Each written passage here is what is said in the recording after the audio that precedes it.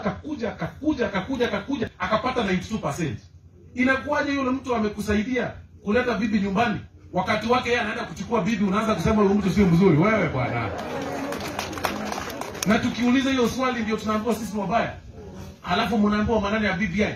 Wacha niwaambie tena kama wakili, BBI hata tupige hesabu, mulielezwa mtaongezwa constituency, zitaongezwa zitaongezwa.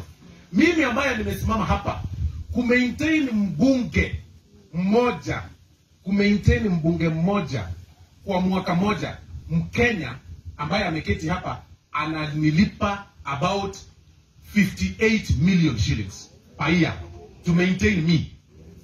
Nikitumia gari yangu, wewe ndio unaweka mafuta.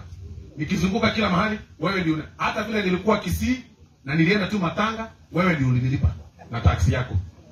Nilienda kule na ni, hata kama nilipigana bado nili, nili, wewe unanilipa. Wewe tu wewe tu ndio unanilipa.